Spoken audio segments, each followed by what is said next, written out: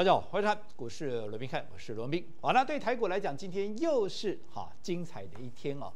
那我们看到早盘呢，受到美股拉回的一个影响啊，今天早盘开盘就跌了六十三点，随即往下急杀，哇，在十点钟不到，约莫大概在九点四十五分的时候，创下了今天的最低点，来到一二六九八，大跌两百七十七点，而这个一二六九八啊。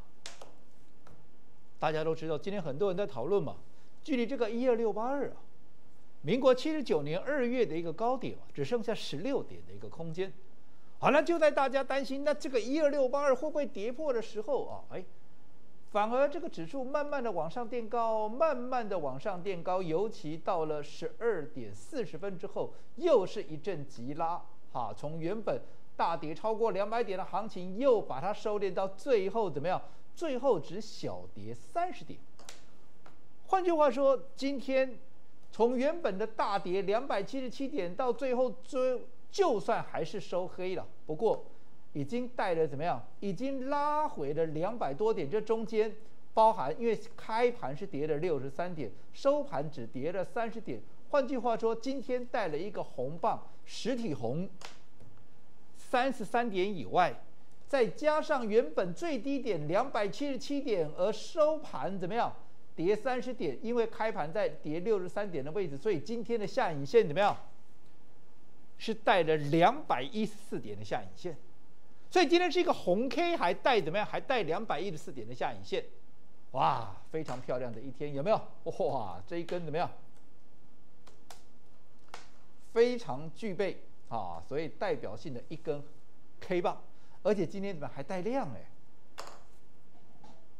所以我们也发现到了，随着今天的一个哈开低走高之后，尤其还带量，我相信今天怎么样？一些专家权威又开始活跃起来了，啊，又开始活跃起来。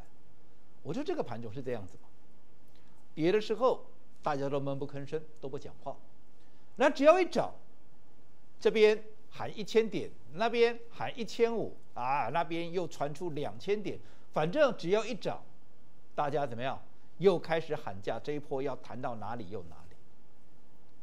好了，你说这个盘呢，在今天出现了这样的一个架构之后，会不会反弹？我认为确实是会的。为什么？我们知道今天最低点来到多少？一二六九八，距离这个一二六八二只差十六点。好像这个一二六八二，民国七十九年二月的一个高点。坦白讲，哎，我还经历过那一段呢。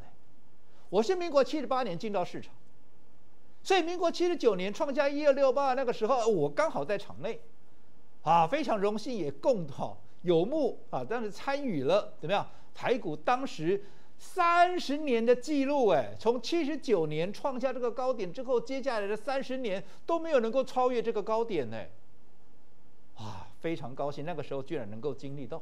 好，那不管怎么样，你想，三十年都没有能够突破那个高点，换句话说，那是一个绝对的怎么样长线的压力区嘛？就过去三十年来讲，对不对？一直到三年前才突破嘛。那既然过去是一个长线的一个压力区，原本是一个大锅盖，现在突破了大大锅盖之后。当然，这个大锅盖就变成怎么样？就技术面来讲，它就变成是一个大铁板嘛。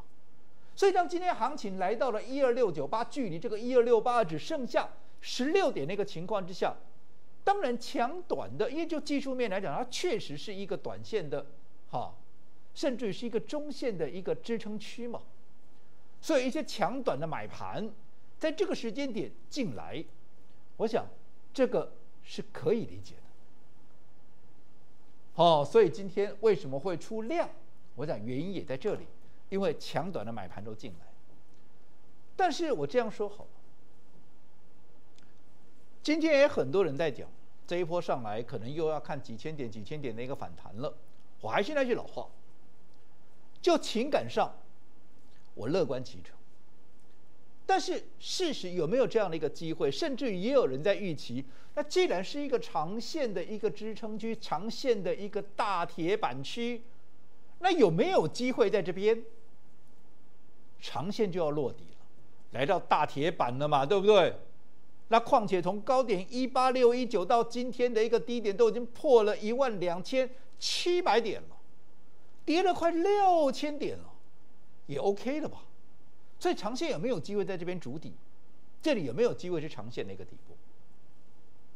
还是那句老话，我们都希望这是长线的底部，但是有没有机会？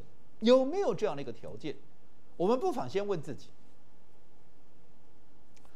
除了说技术面，今天来到一二六九八，距离这个一二六八只剩下十六点，这是一个长线的一个技术面的铁板区以外，你还有没有什么其他的理由？可以来佐证，又或者可以来说服我们，接着下来这边是长线的落底，接着下来要走长线的回升，又或者能够进行一波一千点、两千点的一个大反弹，有没有？你问自己，有没有什么理由，你可以说服我们自己这边能够有一波大行情，不管是大反弹也好，又或者是一个回升也好，有没有？先从近期的一些利空来，我们先从利多来看了，哦，这个是前几天有没有，也是类似像这样嘛？只是当时是在盘上有没有？当时拉回到平盘，后来拉上去，这是前天的事情。啊，今天是在盘下打下来之后拉上去，其实就格局上没有差太多。啊，当时为什么拉上去？我说有这些利多嘛，对不对？那为了要压通膨，所以白宫，对不对？拜登释放了一千五百万桶的这样的一个原油，啊，一个战备储油。好，那我只问各位，我说过了嘛？释放战备储油，把油价压下来，把通膨能够压多少算多少，这绝对是好事。我我们绝对要好，要认同，我们要去好去认同他这样的一个用心了。但是成效会有多少？我就说了嘛，先前油价在一百二，现在在八十几块，油价已经掉了将近至少百分之三十几，将近四十。跌了将近三分之一了，可是通膨我们掉三分之一？当时九点一趴，现在最新公布出来的九月份的还是在八点多啊，有降，可是并没有显著的降，所以代表代表这个油价降当然是好事，可是它没有办法解决完全的通膨的问题。今天好，除了油价以外，我说过农粮的问题。居住的问题，我今天才在跟一个朋友聊天，他儿子在美国啊，我已经告诉各位，美国其实美国人对住的部部分，为什么通膨一直下不来？就这个住的部分。我跟我朋友聊天，他说他儿子现在住在学校，类似像宿舍了，但是也不是像宿舍那么的简陋了，好，类似像学校的宿舍，两房一厅啊，两房一厅，来，各位你猜猜看。这样子，一间哈台这样的一个租金呢，要多少？你算算看，你细想一下，要多少？我可以告诉各位，十五万台币。在我班呢，两两房一厅呢，十五万台币。投资朋友，美国的租金就这么贵，不是跟你开玩笑的，这事实。你一个月有赚那么多吗？他们就是要面对，当然了，你说他们的所得也比我们高，这也是事实。可是你看，他们的所得高归高啊，可是要负担这样的一个租金，两房一厅而已哎。所以在这种情况之下，你说嘛，整个通膨的问题怎么压下来？所以，通膨的问题还在，只要通膨的问题还在，我请问各位，联准会会不会就不升息了？我讲这也不用我们再讨论了吧？十一月笃定三毛，十二月现在在讨论到底是两码还是三码嘛？那不管两码也三码也好了，你今年还要再升五码嘛？这最基本的嘛，最低消费嘛。那明年升不升？依照目前联准会的规划，明年还要再升。所以升息的问题解决没有？没有啊。啊，至于说这边，哦，美国财务财政部可能要。规划国债的回购。我说过的，这时间上，你不可能跟联储会目前的动作做抵触嘛？要不然你不做白宫吗？联储会目前在做 QT，在做量化紧缩，结果你在这边给他买债券，那不是莫名其妙吗？所以他真的要买，那也是明年下半年的事情。所以代表整个资金紧缩的这个部分，为了要抑制通膨，资金紧缩的这个部分，这个利空还是存在啊。资金是股市的动能，哎，对不对？那如果这个动能慢慢一点一滴的被联准会收回去、收回去、收回去，啊，你股市动能欠缺，那你说股市在这个时间点要大涨，这个机会有多大？瑞信。我们都希望能够和平的解决，不要再搞出一个像雷曼兄弟这样的一个金融海啸。但是这个问题到底解决了没有？他去找中东的一个金主，啊，找到了，找到了没？啊，找到了就一定会给他来解决吗？这也是一个未知数。那更不要讲说其他还有什么，还有景气衰退的一个问题，对不对？啊，还有景气衰退的一个问题。我这样说好了，以国内来讲。哦，其实就国外了，好，我们先从美国来看。美国昨天呢公布一个最新的一个数据，整个新屋开工率怎么样？降了八趴，超过八趴，严格讲是八点一趴了，超过八趴，代表什么？整个房地产的一个景气开始要往下走。那你说这对景气，对于整个通膨的一个压抑有没有作用？有，长线来看确实，因为。你房地产慢慢的降下来，价格降下来之后，你租金当然就会慢慢的降嘛。好，但是能够降多少？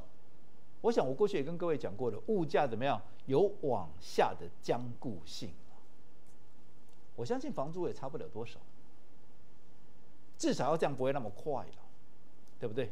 但是问题来了，我们知道说，当你的新屋开工率下降，当你的房地产要往下走，我们知道说银建业是什么？银建业是所有产业的怎么样一个火车头啊？因为我要盖一栋房子，你看它需要多少的材料，对不对？几乎各行各业，甚至于连科技股，因为现在都结合所谓的科技嘛，人性化嘛，对不对？所以现在很多建筑业其实它是结合科技，所以连科技原本说是传统产业的一个龙头，其实现在不只是传统产业的龙头，连科技也都放进去了。所以在这种情况之下，当房地产往下降，房地产景气往下掉，就代表其他的景气也会受到影响，对不对？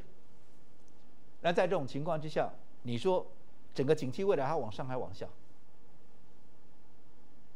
大家都知道，国泰金控每个月啊每个月，它都会针对它的保护，就它的保险的客户了哈，去做一个调查，调查说到底现在。我们的国民在整个投资信心上面是强还是弱？好了，最新十月份的公布出来了，昨天公布出来了，公布出来怎么样？对于未来台股看法保守的五十四趴，已经超过一半了。另外，也有超过一半的人认为接下来的景气是要往下掉的，所以代表整个景气未来就是要往下。但是这个数据是不是就已经到顶了？我告诉你，还没。真的景气要到底部的时候，那个时候是基本上不会有人看好那个不是什么五十四趴看坏景气而已，看坏未来的行情而已了。在真正的底部区也好，在景气落底的位置也好，那至少都是七成八成看坏了。所以很显然，从这个调调查报告看，大家看坏未来。代表行情在降温，可是到底部没有，还没有。所以在这种情况之下，告诉你什么？回过头还是印证了一件事情：整个熊市结构有没有改变？没有任何的改变。我就说了嘛，你现在熊市结构要改变，你现在要进入到牛市的结构，你有什么理由来支撑说现在要走牛市的这样的一个论点？除了我们刚刚讲的通膨的问题、升息的问题、景气的问题以外，你光是说一个地缘政治，俄乌之间打到现在结束了没有？不仅没有结束，现在反而有升高的一个疑虑。除了说前几天中国搬了一个乌克兰的撤侨的一个计划以外，为什么要撤侨？我说过很简单嘛，他一直跟俄罗斯之间是哥俩好嘛，那突然针对他的哥俩好的敌人去做一个撤侨的动作。这中间会有什么样的变化？我想我们不要说他一定会做什么动作啊，俄罗斯一定会做什么动作，但是不是也有隐藏的一些变数、一些危机存在嘛？你不能说这没有危机吧？那另外你再看看普京最近的讲话，他越来越强硬了。他最近讲什么？他说他飞弹都打完了。你说好啊，飞弹打完好，还不会再打了。他说飞弹都打完了，这些只剩下什么？只剩下核弹了。那言下之意是什么？我除非不打嘛，啊，要不然我我没飞弹啊，我只剩下核弹啊，我要打什么？你自己猜啊！啊，你说会不会真的打？我哪在？啊，我又不是普丁。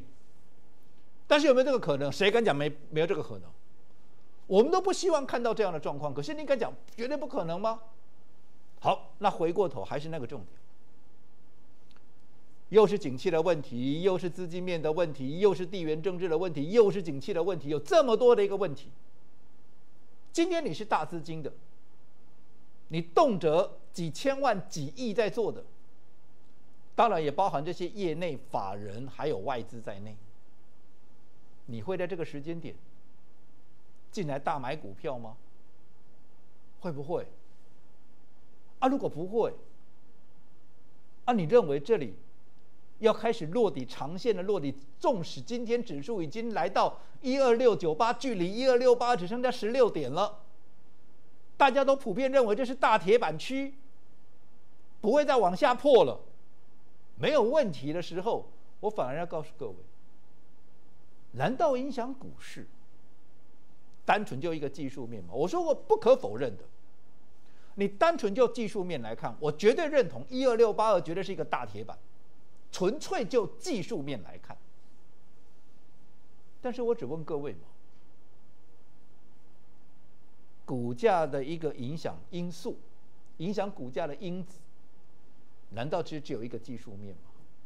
又或者我这样说好，今年行情从一六八一九啊一八六一九了，跌到今天的最低点，跌了快六千点，跌到今天一二六九八。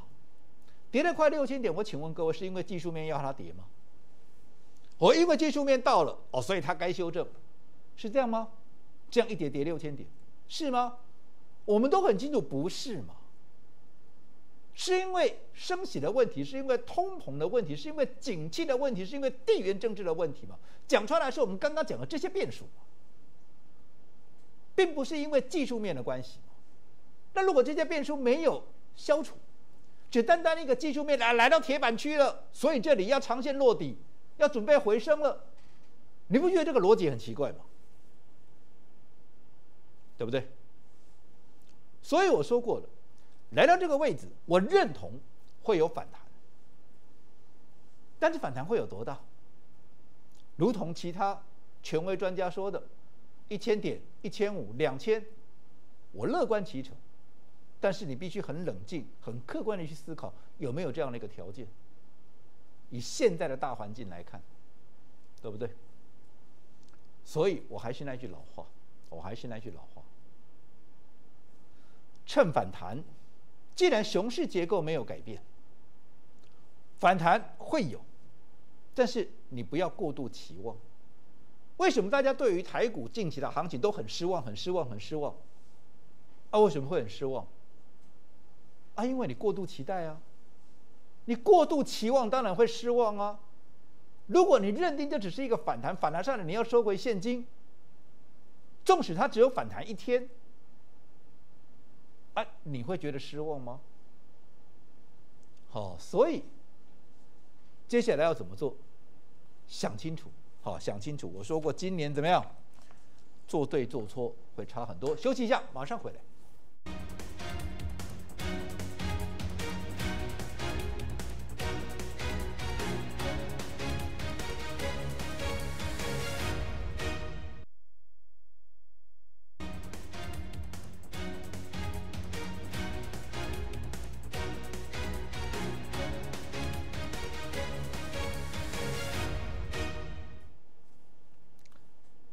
欢迎回到现场。我想今天整个台北股市也算蛮戏剧化的哦，从原本大跌两百七十七点，到最后收盘反而收了一根红棒，只跌了三十点，而且还日 K 线收了一根红棒，还带怎么样？带了两百一十四点的下影线。哇，算是蛮经典的，对不对？所以我说今天整个盘面，大家哎又开始乐观起来了，往上啊又是看一千点啦、一千五啦、两千点，又开始漫天喊价。好了，当然我们也希望这波反弹真的能够弹高一点，能够弹怎么样啊？弹久一点，让大家怎么样？真的能够松一口气。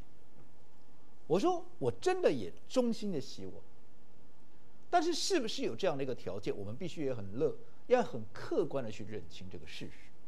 我们刚说了，技术面来到长线的，哈一个原本是一个大压力区。后来三年前突破之后，变成是一个大支撑区，来到长线的大支撑区反弹，这是一定可以看到的嘛。只是你纯粹从技术面来讲，当然会有一波比较像样的反弹是没有错了。甚至有人因为这样是一个长线那个大底部嘛，一个一个大铁板区嘛，所以也有人认定这里有有机会会是一个底部区。但是我说过了。影响近期行情，尤其影响今年跌六千点，难道只是一个技术面吗？没有其他的因素干扰吗？那如果还有其他的因素干扰，你认为单纯从技术面去看，认定这里就是一个不管是中线的底部、长线的底部，你不认为这样的一个逻辑太过于牵强，而且怎么样，太过于薄弱？所以我说过，在乐观之余，今天我知道大家都很开心。我看到这样的盘，能够让大家松口气，我也觉得很开心。但是在开心之余，在乐观之余，我们必须要保持一定的警觉性。最重要，你要认清事实。熊市结构改变了没有？有这个条件吗？我刚一开始也问各位了。你认为来到这里，熊市接近末端，又或者来到这里，行情要几千点的大涨？那你告诉我们嘛？你告诉自己就好，不要告诉我。你问自己，有什么样的一个条件，或者说有什么样的一个理由，能够支撑这个行情能够大涨？不要说回升了，涨一千点、两千点就好了。因为今天很多人在喊嘛，有什么理由能够支撑这个行情接下来要涨一千点、两千点？你自己问问看，你自己去想想看，我相信你就会很清楚。好，所以我说过，目前来看，盘中又或者阶段性的反弹它会有，但是你永远记得，整个长线的一个熊市结构到目前没有任何的改变，因为盘面上这些变数都还在嘛，资金升息、通膨、景气、地缘政治。没有一项是支撑这个行情能够大涨一段的一个状况嘛？那在这种情况之下，你要扭转熊市，你连要破出现一个一千点、两千点的反弹难度都非常高，你还要它扭转，我想这个难度就更高了。所以我们必须很客观的体认到现阶段的一个事实。当你能够体认到现阶段的事实之后，我说过，你才怎么样？你才能够做对的一个动作。哦，因为今年做对做错差很多，那什么是对的动作？我的看法还是只有一个：既然熊市结构没有任何的改变，那么有任何的反弹就是收现金啊，就是收现金。因为这个现金将是未来你要反败为胜、你要东山再起最根本的一个依据。你没有现金，一切都是白谈。好，那至于操作上面有任何的问题，我们都非常欢迎投资朋友随时能够跟我们做一个联系。好，我会给各位一个好，尽全力给各位一个解答。我们明天再会。